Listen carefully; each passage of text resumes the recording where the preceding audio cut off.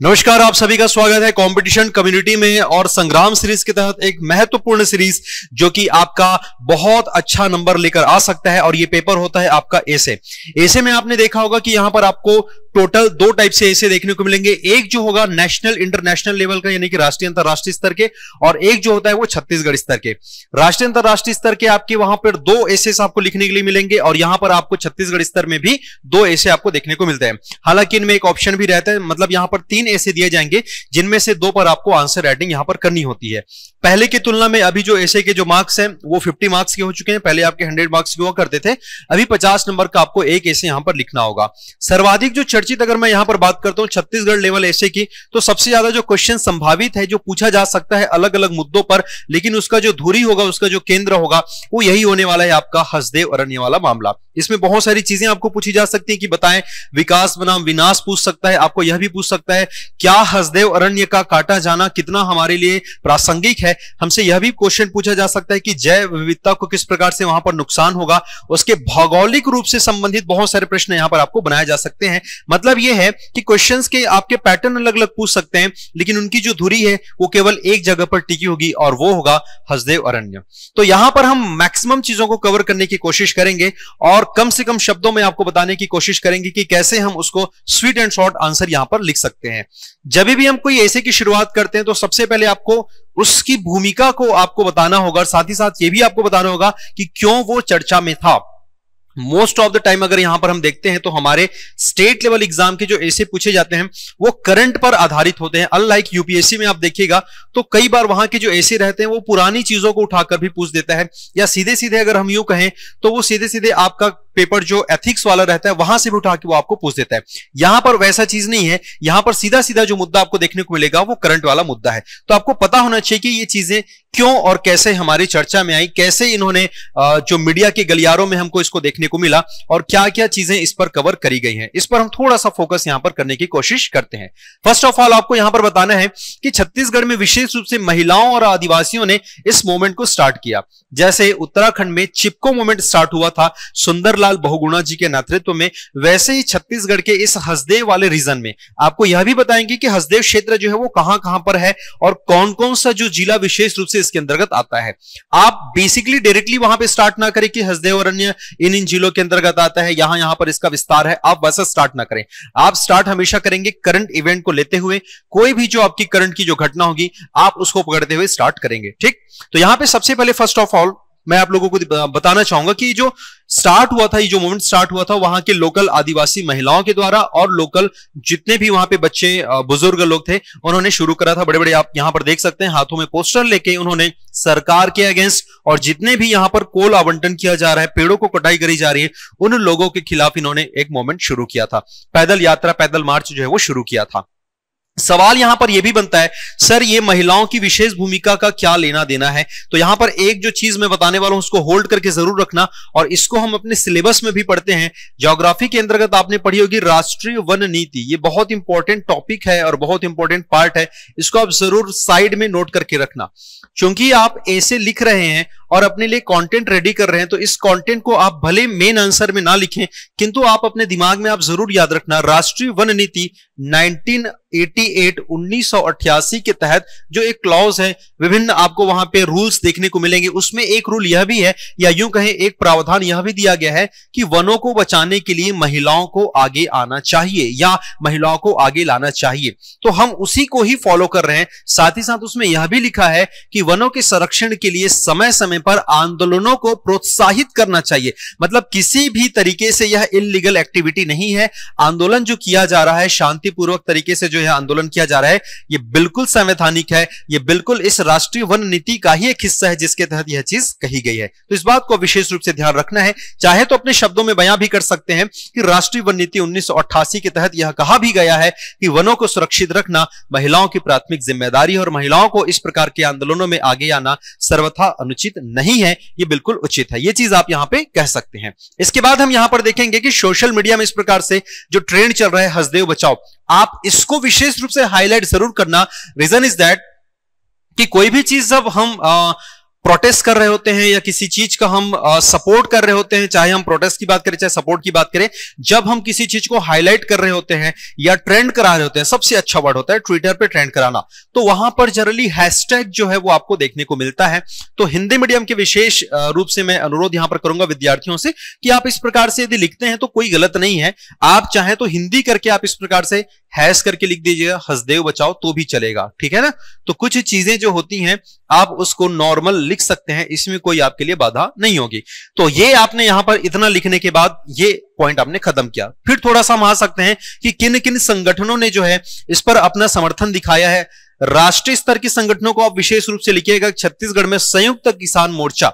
आपने सुना भी होगा कि जब आ, किसान आंदोलन हो रहा था उस दौरान जो राकेश टिकैत हैं बेसिकली इसका जो लीड कर रहे थे तो भले आप नाम यहाँ पर मत लिखिए। एक्चुअली नाम लिखने में कई बार क्या होता है, जैसे आप पूरे ऐसे में यहाँ पर देखिएगा, कहीं पर भी हमने ना बीजेपी ना कांग्रेस ना इस प्रकार से सरकारों का नाम हमने नहीं लिखा है। हाँ ज़रूर कहा है कि उस समय की तात्कालीन सरकार। ऐसा इसलिए करना है आपको, ऐसा नहीं कि आपको नहीं पता है। भाई, आपको जब दुनिया जहान की चीज़ें पता है तो सरकार के बारे में पता होने का ऐसा नहीं हो सकता। संभवतः यह होता है कि देखिए जब आप उस समय आंसर लिख रहे होते हैं आपका माइंडसेट क्या है? नहीं है डजन मैटर आप किस विचारधारा के व्यक्ति हैं? नहीं है डजन मैटर सामने वाला जो चेक कर रहा है वो किस विचारधारा के है? ये मैटर करता है. अब मान लेते हैं आपने आपकी जो विचारधारा है आप मान लेते हैं प्रो बीजेपी वाले हैं और आप अरे एकदम घर याद रहो कांग्रेस गवर्नमेंट ने ऐसा किया वैसा किया. सामने जो चेक करने वाला व्यक्ति भी आपकी विचारधारा के तो, तो बहुत अच्छे से नंबर देगा. लेकिन दोनों की विचारधाराएँ अगर मिसमैच हो गई क्योंकि भाई जब चेक करने वाला होता है तो वो नंबर दे रहा होता है तो उस पर आप ऑब्जेक्शन नहीं कर सकते कि आपने नंबर क्यों काटा। भाई यहाँ पर कुनो नेशनल पार्क वाला असम में लिख के भी दो नंबर पा जाता है, फिर तो आप सही गलत लिखने के बावजूद आप क्या उम्मीद करेंगे? इसीलिए आप इधर उधर की बातों को या इधर उधर की जो भावनाएँ हैं, उससे ग्रस्त ना हो और सिंपल, जो एक आपका तटस्थ रवैया जो रहता है, जिसको हम न्यूट्रल व्यू कह सकते हैं तो आप बिल्कुल न्यूट्रल लिखें। मतलब भले आपका विचारधारा कैसा भी हो डजेंट मैटर आप जो है, ऐसी चीज़ें लिखें ताकि सामने वाले को लगना चाहिए कि हाँ ठीक है भाई, इसने थोड़ा सा बैलेंस करते हुए यहाँ पर लिखा है। तो हमने राकेश टिकेत का नाम यहाँ पर नहीं डाले, बाकी आप डालना है तो डाल सकते हैं, क्योंकि वो उतना पॉलिटिकल मुद्दा यहाँ पर नहीं बनता। फिर भी आपको इस संस्था का नाम ज़रूर एड करना होगा संस्था जो है संयुक्त किसान मोर्चा। ये आपने बता दिया। और ये जो कोयला खनन के लिए जो बड़े पैमानों पर पेड़ों की कटाई करी जा रही है, उसके खिलाफ चलने वाले आंदोलन जो हो रहा है, उसमें इन्होंने अपना भरपूर समर्थन दिया है। इसके बाद आपको यहाँ पर बताना है कि अलग अलग तरीकों से यहाँ पर विरोध किया जा रहा है। और आदिवासियों ने दिसंबर 2021 से पद यात्रा यानी कि यहाँ पर पैदल मार्च स्टार्ट किया। इनफैक्ट रायपुर तक वो आए हुए थे। वहाँ से चलकर राजधानी तक इन्होंने पूरी पैदल यात्रा करी थी। और ये तब से आपका लगातार पिछले एक दो वर्षों से चर्चा का विषय बना हुआ है। तो इस प्रकार से आपको यहाँ पर भूमिका बनानी है। आप चाहे तो इसको और छोटा कर सकते हैं। मैंने कोशिश करी है कि मैक्सिमम चीज़ें मैं आप सबकी के लिए यहाँ पर दे सकूँ और मैक्सिमम आप वहाँ पर अपना यूटिलाइज कर सकें। इसके बाद हम चलते हैं आगे यहाँ पर। ये एक्चुअली ये जो मामला है, यानी कि जिसको हमने कहा है हसदेव अरण्य कोल क्षेत्र, ठीक है? यानी कि कोल फ़ील्ड की यहाँ पर हमने बात करी, शॉर्ट में इसको बोला जाता है हसदेव अरण्य कोल्ड फ़ील्ड, यानी कि एच एस सी एफ़ तो समटाइम्स आपको यहाँ पर भी ऐसा पूछा जा सकता है कि एच एस सी एफ़ आप इस चीज़ को भी विशेष रूप से ध्यान दीजिए कि ये ना सिर्फ़ ऐसे के लिए, बल्कि पर्यावरण वाले पार्ट में भी आपको अलग से क्वेश्चन पूछ सकता है, दीर्घ उत्तरी प्रश्न के रूप में। आप यदि कोई ऐसे एग्ज़ाम की तैयारी कर रहे हैं जहाँ पर प्रिलिम्स आप में काम आने वाला है, या वनडे एग्ज़ाम जहाँ पर आपको एमसीक्यूज बनानी होगी, वहाँ पर भी इस क्वेश्चन को पूछा जा सकता है या उनके फुल फॉर्म्स को आपको पूछा जा सकता है। तो फुल फॉर्म और साथ ही साथ उनके पूरे पूर्ण रूप को भी आपको याद रखना है। तो यहाँ पर लगभग आपके 1880 वर्ग किलोमीटर एरिया में फैला हुआ है, जिसमें 23 कोल फ़ील्ड या कोल ब्लॉक यहाँ पर शामिल है। अच्छा ये तो आपको पता ही होगा और ये सब बताने की आवश्यकता यहाँ पर नहीं होगी। ये आपको स्वतः ज्ञात होना चाहिए कि भाई कोरबा वाला यह जो रीजन है, आपका सूरजपुर और सरगुजा वाला यह जो रीजन है, ये बहुत बड़ा कोल फ़ील्ड है। गोंडवाना जो हमारी जो चट्टाने यहाँ पर पाई जाती हैं, उसके अंतर्गत ये बहुत बड़ा और बहुत ही समृद्ध और बहुत अंदर तक दबा हुआ यहाँ पर कोल फ़ील्ड है। यानी कि इसकी जो मोटाई जो होती है थिकनेस जो होती है, वो काफ़ी ज़्यादा होती है। तो ये अपने को ज्ञान रखना है। इसके बाद यहाँ पर सबसे पहले हम स्टार्ट करते हैं कि 2009 में सर्वप्रथम, ये बहुत इंपॉर्टेंट है क्रोनोलॉजी इज़ वेरी इंपॉर्टेंट यदि आप कोई चीज़ लिख रहे हैं तो उसका क्रम आपके लिए होना आवश्यक है। उदाहरण के तौर पे, यदि हम आपसे कहें कि भाई पनीर लबाबदार बनाए, या फिर आपने कहा कि पनीर भुर्जी बनाए तो सबसे पहले आप क्या करेंगे? डायरेक्ट पनीर को तो नहीं डालेंगे। पहले आप उसमें तेल डालेंगे, तड़का लगाएँगे, फिर एक प्रोसेस के बाद आप उन चीज़ों को डालेंगे। या ऐसा तो नहीं है कि पहले तेल डाल दिए, उसी में आप नमक डाल दिए। तो सबका एक प्रोसेस होता है। तो प्रोसेस के तहत आप डालेंगे तो सब्ज़ी आपकी टेस्टी बनेगी। मिलेगी आप डाल वही चीज़ रहे सामने वाला भी डाल वही चीज़ रहा है। लेकिन आपका सिक्वेंस अलग है, उसका सिक्वेंस अलग है। सीक्वेंस जिसका सही रहेगा, उनका जो मटेरियल है वो जल्दी और अच्छा तैयार होगा। जिनका सीक्वेंस खराब हो जाएगा तो फिर आइटम आपका गड़बड़ा जाएगा। तो इस बात का विशेष रूप से आपको ध्यान रखना है। 2009 में स्टार्ट किया गया और इसको नो गो जोन डिक्लेयर किया गया। नो गो जोन का मतलब होता है कि भाई आप वहाँ पर नहीं जा सकते या किसी प्रकार की मानवीय गतिविधि नहीं कर सकते। अगेन मैं आपको यहाँ पर फिर से रिमाइंड कराऊँगा, जब ये पार्ट आप पढ़ रहे होंगे तो आपके दिमाग में दो सब्जेक्ट बिल्कुल इर्द गिर्द आपके घूमने चाहिए, राहु और केतु के जैसे। एक सब्जेक्ट होगा एनवायरमेंट और एक होगा आपका ज्योग्राफी क्योंकि दोनों का कॉम्बिनेशन यहाँ पर आने वाला है। इनफैक्ट वहाँ से निकल के कुछ चीज़ें आप यहाँ पर इंसर्ट पुटअप भी कर सकते हैं एज इट इज़ कैसे? ये आने वाले स्लाइड में मैं आपको बताऊँगा। फ़िलहाल मैं यहाँ पर बात करता हूँ कि जब नो गो जोन की मैं बात करता हूँ तो मेरे दिमाग में एक चीज़ स्ट्राइक करती है और वो होता है कि वनों का जब हम वर्गीकरण करते हैं एडमिनिस्ट्रेशन के आधार पर, प्रशासन के आधार पर तो बेसिकली हमारे पास तीन होते हैं। कौन कौन सा होता है? एक होता है जिसको हम लोग कह सकते हैं वर्गीकृत, यानी कि जिसको हमने क्लासिफाइड नहीं किया है। एक जो होता है जिसको हम लोग बोल देते हैं आरक्षित, और एक जो होता है वो होता है हमारा संरक्षित। राइट मतलब जिस पर सीधा सीधा हम किसी भी प्रकार के मानवीय गतिविधि को स्वीकार्य नहीं करते, वो आरक्षित हो जाता है। संरक्षित के अंतर्गत होता है, जिसमें थोड़ी बहुत हल्की फुल्की गतिविधियाँ यहाँ पर अलाउ की जाती हैं। तो इस प्रकार के जो प्रोटेक्ट करे जाते हैं, जिसको संरक्षित रखा जाता है, उसको हम नोगो जोन में रखते हैं। धीरे धीरे कोयले की मांग बढ़ी और निस्संदेह कोयले की मांग बढ़ेगी क्योंकि अभी भी भारत जो है, वो अपनी आवश्यकताओं के लिए, यानी कि ऊर्जा आवश्यकताओं के लिए आधे से ज़्यादा जो डिपेंडेंट है, जो निर्भर है, वो कोयले पर है। मतलब हम यूँ कहें कि अगर हम प्रॉपर कोयला समय पर ना दें इन पावर प्लांट्स को तो हमको बिजली नहीं मिल पाएगी और फिर हम सरकार को ही गरियाएँगे कि भाई कैसे पावर कट होता है एंड ऑल मतलब समस्या तो दोनों तरफ़ से, सरकार को इस चीज़ के लिए जूझना पड़ता है, सरकार को इस चीज़ के लिए तैयार रहना पड़ता है। सो यहाँ पर बेसिकली टू 2009 में नो गो जोन घोषित किया गया। जैसे ही हमको डिमांड बढ़ी तो 2010 के आसपास धीरे धीरे हमने जो है पीई के बी अब ये पीई के बी क्या है? This is very very important याद रखना। इसको हम लोग खैर आगे पढ़ेंगे है ना? ये परसा जो कोल ब्लॉक वाला जो रीजन है उसको मैं आपको बताऊँगा। यहाँ पर डिटेल हम देख लेंगे। बस के, केवल इतना याद रखना कि यहाँ पर इस क्षेत्र के लिए मंजूरी दे दी गई। बोले कि ठीक है, हम यहाँ से क्या कर सकते हैं? हम यहाँ से कोयले की खुदाई कर सकते हैं। अब सवाल यह है जी कि अगर आप कोयले की खुदाई करेंगे तो आपको ना जंगल को काटना पड़ेगा। प्रश्न यह है, क्या सर मैं बिना जंगल की कटाई किए क्या कोयले को खोद नहीं सकता? ये बिल्कुल वैसे ही सवाल है, सर क्या मैं जानवर को मारे बिना मैं चिकन नहीं खा सकता? मतलब यदि आपको चिकन खाना है तो मुर्गी को आपको मारना पड़ेगा। बात समझ आ रही है? सेम वैसी कहानी यहाँ पर भी है कि यदि आपको यह चीज़ करनी पड़ेगी, अगर आपको यहाँ से कोयले निकालने हैं तो उन जंगलों को आपको नष्ट करना पड़ेगा, जंगलों को आपको काटना पड़ेगा। बोले, यार, जंगल काटना, ये तो सरकार कभी ऐसा अलाउ नहीं करेगी। तो सरकार ने कहा, ठीक है, जंगल आप काट लीजिए, कोई दिक्कत नहीं है।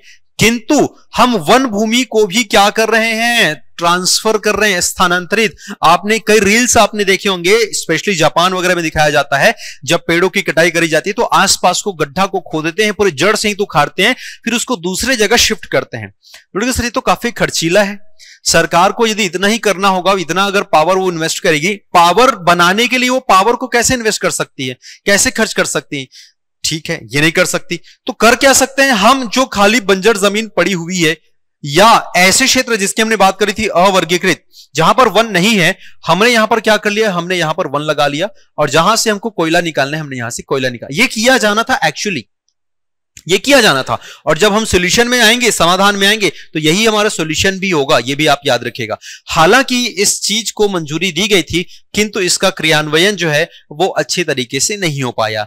इंप्लीमेंटेशन यहाँ पे सही ढंग से नहीं हो पाया, ठीक है?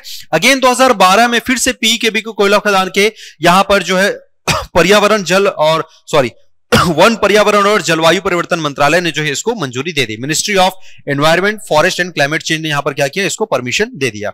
ऐसे करते करते ये जो मामला लगातार चला और फाइनली अभी जो हाल ही में 2022 में सेकंड आवंटन जो किया गया था ये आपका पहला वाला था फ़र्स्ट वाला 2012 वाला, यानी कि जस्ट 10 साल पहले। 2012 में जो किया गया था, ये पहला ब्लॉक था, और सेकंड वाला जो किया था, वो सेकंड सॉरी 2022 में किया गया था, वो आपका सेकंड वाला था। मतलब एक ही स्थान पे, यानी कि हसदे वाले रीजन में ही अलग अलग स्टेजेस में कोल आवंटन के लिए, कोल आवंटन का मतलब कोयले खदान की कोयले को खुदाई करने के लिए जो अनुमति दी गई, ये सेकंड स्टेज था जो कि 2022 में किया गया। यहीं से मामला तुल पकड़ा। ऐसा नहीं कि पहले नहीं था, ये पहले भी चर्चा में था, पहले भी यहाँ पर विरोध किया जा रहा था, किंतु 2022 में यहाँ पर जब इसको मंजूरी दी गई, इस दौरान जो है ये इस मामले ने बहुत ज़्यादा विवाद पकड़ा, बहुत ज़्यादा तुल पकड़ा। अब सवाल ये है, बहुत सारे सियासी समीकरण आपको देखने को मिलते हैं, बहुत सारी यहाँ पर क्वेश्चन देखने को मिलते हैं कि, सर या आपने कई बार देखा होगा, कांग्रेस की गवर्नमेंट बीजेपी को बोल रही है, बीजेपी बीजेपी भी की जो गवर्नमेंट है वो कांग्रेस को बोल रही है। लेकिन दोस्त, यहाँ पर दोनों की सहमति के बिना यह संभव नहीं था। आप इस बात को समझें, आप किसी भी पार्टी के समर्थक हो, यहाँ पर कहीं ना कहीं गलतियाँ जो है वो दोनों तरफ़ से हुई हैं। या यूँ कहें, जिम्मेदार जो है तो दोनों हैं, कोई भी यहाँ पर दूध के धूले नहीं होंगे। कारण आप समझिएगा, जैसे, उदाहरण के तौर पर अगर आप केंद्र सरकार को अगर दोष देंगे तो जिस समय केंद्र सरकार थी, उसके ऑपोजिट यहाँ पर राज्य सरकार थी।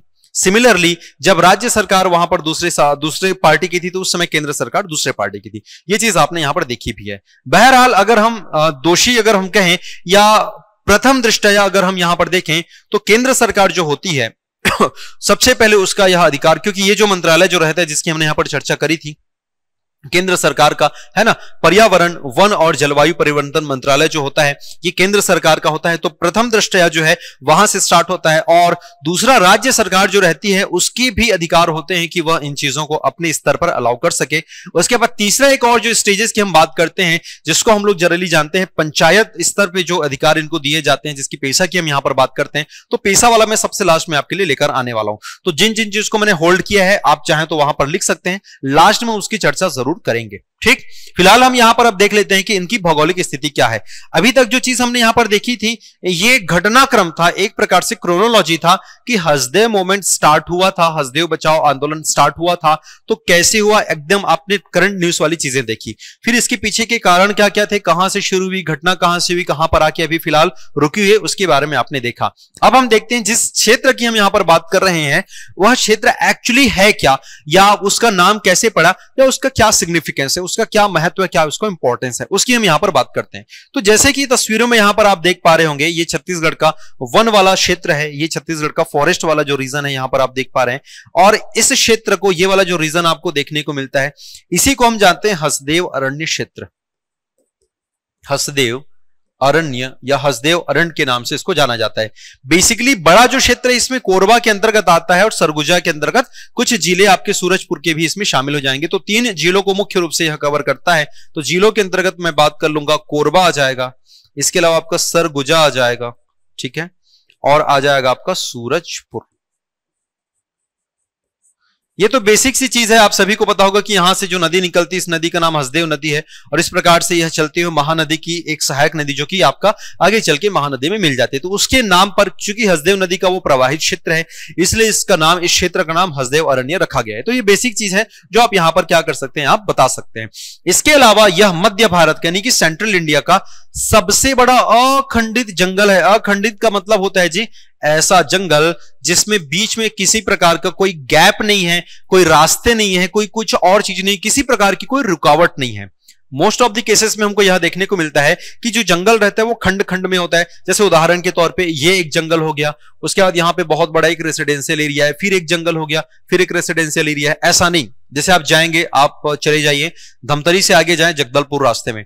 तो वहाँ पर आपको खंड खंड में जंगल देखने को मिलेंगे। जैसे आपने धमतरी को पार किया थोड़ी दूर, जब आप आगे जाएँगे तो आ, क्या बोलते हैं कांकेर के पहले कांकेर के पहले आपको हल्का फुल्का जंगल वाला एरिया देखने को मिलेगा फिर कांकेर के बाद फिर से थोड़ा सा नॉर्मल हो जाता है फिर केशकाल के पास आपको मिलेगा फिर थोड़ा दूर आगे जाएँगे तो बस्तर वाले रीजन उतना ज़्यादा डेंस आपको देखने को मिलता है फिर उसके नीचे जाएँगे तो इस प्रकार से खंड खंड में आपको देखने को मिलता है। किंतु यहाँ पर ये जो क्षेत्र है ये अखंडित है मतलब एकदम आपका कह सकते हैं कॉन्स्टेंट कंटिन्यू सतत। आपको जंगल देखने को मिलेगा। तो मध्य भारत का सबसे बड़ा अखंडित जंगल क्षेत्र है। यहाँ पर विशेष रूप से साल और सागौन के जो पेड़ है, वो यहाँ पर आपको देखने को मिलते हैं। इसके अलावा ये हाथियों के लिए एक महत्वपूर्ण गलियारा है। मतलब एक इंपॉर्टेंट कॉरिडोर है, जो हमारे लिए, याद रखना, हाथियों के लिए बहुत इंपॉर्टेंट है और जो हमारे लिए, यानी कि जैव विविधता की दृष्टि से भी काफ़ी ज़्यादा इंपॉर्टेंट है। इसके कुछ सिग्निफिकेंस इनके कुछ महत्व की भी हम यहाँ पर चर्चा करते हैं। जैसे यहाँ पर आप देख सकते हैं तो W T I sorry W I I wildlife institute of India इन्होंने अपने हाल ही के जारी किए गए एक रिपोर्ट में कहा था कि विभिन्न प्रकार के, जैसे यहाँ पर आप देख सकते हैं हसदेव में गोंड, लोहार, ओराव, कोरवा जैसे लगभग दस हज़ार अलग अलग आदिवासी लोग यहाँ पर निवास करते हैं। इसके अलावा यहाँ पर लगभग बयासी तरह के पक्षी, यानी कि बर्ड्स की प्रजातियाँ, विभिन्न आपको तितलियाँ, ठीक है, और एक सौ सड़सठ प्रकार की वनस्पतियाँ, यानी कि वेजिटेशन आपकी जानकारी के लिए बता दें कि भाई ये डेटा छोटे मोटे नहीं है। एक सौ सड़सठ यानी कि more than 150 types of vegetation यहाँ पर है। डेढ़ सौ प्रकार से ज़्यादा की वनस्पतियाँ। मतलब आप समझिए कि विविधता यहाँ पर ठीक ठाक पाई जाती है। अच्छी तो नहीं बोलूँगा, क्योंकि जो हॉटस्पॉट जैसे क्षेत्र रहते हैं, वहाँ पर 1500 से ज़्यादा समथिंग चाहिए रहता है।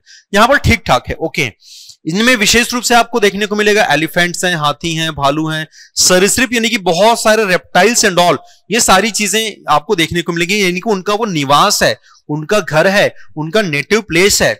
जब हसदेव अरण्य काटा जा था तो आपने एक न्यूज़ देखा होगा, जो दिल दहला देने वाला था, हृदय विदारक था, कि उसमें भालू के जो दो बच्चे रहते हैं, जो बिछड़ जाते हैं, और गाँव के किसी क्षेत्र में वो पाए जाते हैं। तो वो, ये जो घटनाएँ रहती हैं, हमारे अंदर तक आती हैं और हमको कहीं ना कहीं वो प्रश्न पूछती कि क्या हम इस चीज़ के लिए आवाज़ नहीं उठा सकते? क्या हमारी जो लाइफ है, बस इतनी ही चलती है कि हम आए, पढ़ाई लिखाई कर लिए, बस या अपनी कॉमन ज़िंदगी जी लिए। क्या हम इन लोगों के लिए थोड़ा भी आवाज़ नहीं उठा सकते? अरे एटलीस्ट ट्विटर पर तो ट्रेंड करा सकते हैं। घर बैठे इतना तो कर सकते हैं। हम इतनी सारी चीज़ों की बात करते हैं, इसकी सरकार आएगी, उसकी सरकार आएगी, ये बनेगा, वो बनेगा, फलाना, अमका, ढिमका। हम इनके बारे में क्यों नहीं सोचते? एक्चुअली हमारा जीवन यहीं से आगे इंपॉर्टेंस में आप देख सकते हैं, जैसे हमने बात करी, साल और जो महुआ यहाँ के इंपॉर्टेंट वृक्ष हैं, और ये ना सिर्फ़ आर्थिक रूप से, बल्कि आध्यात्मिक रूप से जुड़े हुए हैं।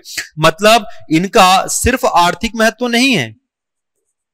आर्थिक महत्व ही नहीं है, इनका आध्यात्मिक भी है। और ध्यान समझिएगा, जब लोगों का रिलीजियस या सेंटिमेंटल अटैचमेंट होता है किसी चीज़ से जब लोगों की भावनात्मक जुड़ाव वहाँ पर होती है तो कहीं ना कहीं उनको आहत कर जाती फिर आप बाकी चीज़ों से उनको नहीं समझा सकते, क्योंकि जो सेंटिमेंट्स होते हैं, भावनाएँ जो होती हैं, वो दिल से आती हैं, अंदर से आती हैं। तो यहाँ पे जो लोग हैं, साल वृक्ष की पूजा भी करते हैं। आपने सुना होगा, सरना देवी के रूप में इसको मानते भी हैं, ठीक है ना? तो पेड़ों को उन लोग देवता के रूप, आप चाहें तो इसमें सरना देवी एंड ऑल ये सारे पॉइंट्स ऐड कर सकते हैं। देखिए ऐसे की खासियत यही होती है जी कि आपके जो ट्रेडिशनल सब्जेक्ट्स होते हैं ना, आप उनको वैल्यू एडिशन के तौर पे यहाँ पर आप ला सकते हैं। और यहाँ पे जो 150 प्रजातियाँ हैं, जिनमें से लगभग 18 प्रजाति जो हैं, वो अस्तित्व में जूझ रही है, अपने अस्तित्व को लेकर अपने एग्जिस्टेंस को लेकर मतलब आने वाले समय में वो बहुत जल्द गायब हो सकती हैं। आप खुद देखिए ना, पहले जमाने में इतने सारे टाइप आप पेड़ आपको देखने को मिलते थे, लेकिन अभी के समय में वो सारी चीज़ें आपको देखने को नहीं मिलेंगी। वो सारी चीज़ें अभी हमारे लिए बिल्कुल गायब सी हो चुकी हैं। तो ये हमारे लिए एक बहुत बड़ी समस्या है, हमारे लिए एक बहुत बड़ा चैलेंज है, ठीक है? तो ये इतना सब, ये सब क्या है? इसका इंपॉर्टेंस है, ये सब इसका महत्व है। अब हम देखते हैं कि अब तक की जो स्थिति है, वो क्या चीज़ है? मतलब अभी तो अब तो हमने बेसिक इसके इंपॉर्टेंस के बारे में देखा, इस क्षेत्र के बारे में देखा। मैंने यहाँ पर जब इसका इंट्रोडक्शन पार्ट बताया था यहाँ पर भौगोलिक स्थिति तो आप और भी चाहें तो बाकी चीज़ें लिख सकते हैं। छत्तीसगढ़ के संदर्भ में छत्तीसगढ़ में इतना जो लगभग चौवालीस प्रतिशत वन आरक्षित क्षेत्र है ठीक है? ये हमारे पास जो है आ, इंडिया के टॉप फाइव वन आवरण वाले क्षेत्र में हमारा जो राज्य आता है ये सारी भूमिकाएँ आप डाल सकते हैं। मतलब यही जो एक्स्ट्रा चीज़ें होती हैं यही एक्स्ट्रा चीज़ें होती हैं जो आपके एसे के लिए वर्ड्स को बढ़ाएँगी जो वर्ड्स को काउंट को बढ़ाती हैं।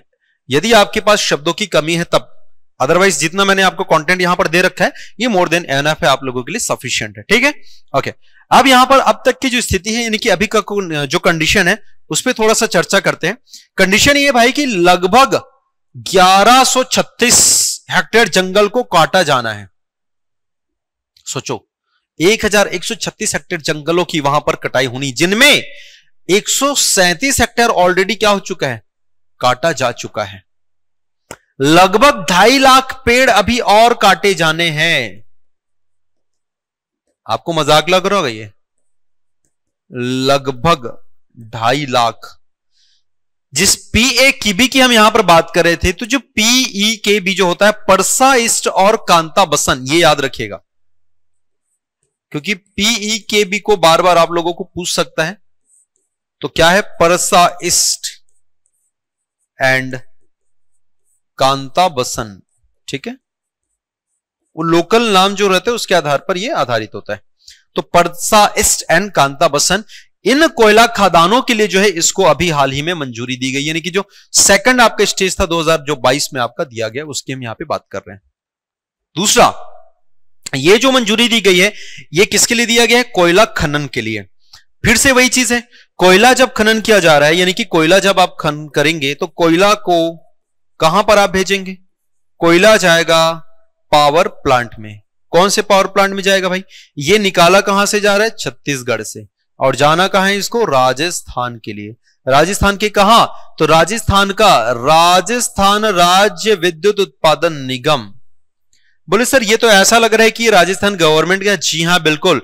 किंतु इसका टाई अप हुआ है या यूँ कहें, इन्होंने अडानी के साथ मिलकर ठीक है? क्योंकि ये अडानी समूह द्वारा संचालित, अडानी जो है, कई बार आपने देखा होगा ना, जैसे कि एल का हमने क्या किया? आईपीओ निकाला, उसके शेयर दिए किसी प्राइवेट को। वैसे ही हमने देखा वेदांता तो वेदांता जो किसके साथ किया है? तुम्हारा बाल्को के साथ किया हुआ है, ऐसा। तो कुछ प्राइवेट कंपनियाँ रहती हैं, वो सरकारी कंपनियों के साथ ज्वाइंट वेंचर के तौर पे मतलब संयुक्त तो उपक्रम के तौर पे कार्य करती है। तो यहाँ से जो विद्युत उत्पादन किया जाएगा राजस्थान से, जो कि डायरेक्टली कह सकते हैं, इनके द्वारा संचालित है अडानी ग्रुप के द्वारा। या यूँ कहूँ मैं, हमारे यहाँ से निकाला कोयला किसको जा रहा है? अडानी को जा रहा है। और अडानी देगा फिर राजस्थान को। या यूँ कहें, छत्तीसगढ़ से जो कोयला निकलेगा, उसका उपयोग जो है राजस्थान के विद्युत उत्पादन के लिए किया जाएगा। ठीक है? चलिए, आगे देख लेते हैं। ये अब तक की जो स्थिति थी, ठीक है? जैव विविधता और पारिस्थिति को इससे क्या नुकसान होगा? मतलब आपने कंडीशंस देखी, पहले आपने यहाँ पर देखा कि शुरुआत कैसी हुई, फिर आपने बताया कि इसका इंपॉर्टेंस क्या क्या है, फिर आपने बताया कि अब तक की स्थिति क्या है। अब हम देखने वाले हैं कि ये सब करने के बाद या ये सब करने के दौरान क्या क्या चैलेंजेस या क्या क्या प्रॉब्लम्स हमारे साथ आ सकते हैं। तो अभी तक हमने भूमिका वाला पार्ट देख लिया करंट स्टेटस यानी कि वर्तमान स्थिति हमने यहाँ पर देख ली। अब हम देखने वाले समस्याएँ या चैलेंजेस हमारे साथ क्या क्या होने वाला है। तो ये प्रॉब्लम है, समस्या है। सबसे पहले हैबिटेट डिस्ट्रक्शन यानी कि आवासीय विखंडन। भाई जंगलों को काटोगे ना तो सबसे पहले जितने पेड़ पौधे जीव जंतु थे, और वैसे भी ये वाला जो पॉइंट है ना, ये इंपॉर्टेंस वाला जो पॉइंट है, वहीं से आपको देखने को मिलता है। मतलब आप क्या कर रहे हो, इतनी सारी प्रजातियाँ क्या होती हैं, यहाँ पर रहती हैं। एकदम सिंपल है, आपको पॉइंट यहीं से निकालनी है। ये प्रजातियाँ रहती हैं तो ये क्या हो जाएँगे, बेघर हो जाएँगे। इतने सारे लोग निवास करते हैं, इनकी आजीविका इसी पर निर्भर है तो ये क्या हो जाएँगे, ये लोग बेरोजगार हो जाएँगे, ठीक है ना? कई प्रकार से यहाँ पर आर्थिक और आपके सामाजिक महत्व के पेड़ जुड़े हुए हैं तो कहीं ना कहीं पर्यावरण को नुकसान होगा, तापमान में वृद्धि होगी ग्लोबल वार्मिंग बढ़ेगी, है ना? और भी बहुत सारी ये सामाजिक समस्याएँ आपको यहाँ पर देखने को मिलेंगी। तो केवल उन्हीं चीज़ों को यहाँ पर एज इट इज़ आपने यहाँ पर लिख देनी है। हमने कहा कि आवासीय विखंडन होगा, यानी कि बहुत सारे जीव जंतुओं का घर यहाँ पर नष्ट हो जाएगा पेड़ पौधों का घर नष्ट हो जाएगा। इंसान और हाथी के बीच कॉन्फ्लिक्ट यानी कि जो मानव जंतु संघर्ष में, फिर से कह रहा हूँ, आप वापस आ जाए। एनवायरमेंट में एक पॉइंट है, मानव वन्य जीव संघर्ष। आपने देखा होगा और ये क्वेश्चन आया भी है। यदि देखा है तो आप कमेंट करके ज़रूर बताना कि हाँ जी सर, हमने यहाँ पर ये क्वेश्चन देखा हुआ है, ठीक है? मेंस यदि आपने लिखा होगा या मेंस लिखने के लिए आप तैयार कर रहे होंगे, तैयारी कर रहे होंगे, या आप कभी मेंस लिखने वाले होंगे कमेंट ज़रूर करिएगा, क्या आपने ये वाला पॉइंट देखा है? नहीं देखा है तो आज जाके देखें आपने सिलेबस में और इन्वायरमेंट वाले में आप देखिएगा मानव वन्यजीव संघर्ष यानी कि ह्यूमन वाइल्ड लाइफ कॉन्फ्लिक्ट करके एक टॉपिक है। नहीं देखें तो जाके सिलेबस में देखें और बताएँ, यस सर, हमने यहाँ पर देखा है। कमेंट आप ज़रूर करिएगा, ठीक? चलिए तो यहाँ पर आप देख पा रहे हैं कि मानव वन्य जीव संघर्ष के अंतर्गत हाथी और मानव का संघर्ष यहाँ पर हमको देखने को मिलता था, मिलता है और आगे और ज़्यादा मिलेगा। एक रिपोर्ट के अकॉर्डिंग कि भाई, इंडिया में रहने वाले सौ में से एक हाथी कहाँ पर है? सौ में से एक हाथी छत्तीसगढ़ में है। मान लेते हैं इंडिया में सौ हाथी, उनमें से एक छत्तीसगढ़ में किंतु सौ में से पंद्रह मरने वाले लोग छत्तीसगढ़ से हैं। मतलब आप समझिए, हमारे पास टोटल यहाँ पर बोला है ना 2018 की रिपोर्ट में एक परसेंट हाथी छत्तीसगढ़ में, लेकिन हाथियों के खिलाफ अपराध पंद्रह फ़ीसदी से ज़्यादा यहीं पर दर्ज करी गई हैं।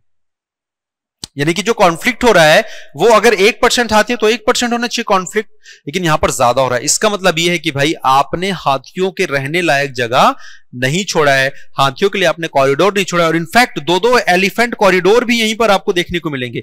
एक आपको देखने को मिलेगा लेमरू,